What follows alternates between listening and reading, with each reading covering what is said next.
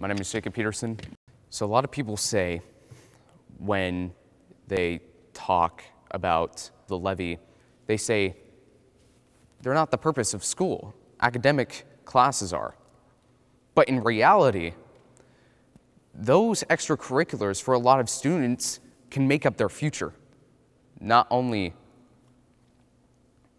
have an easier opportunity to do what they love, but also to find themselves.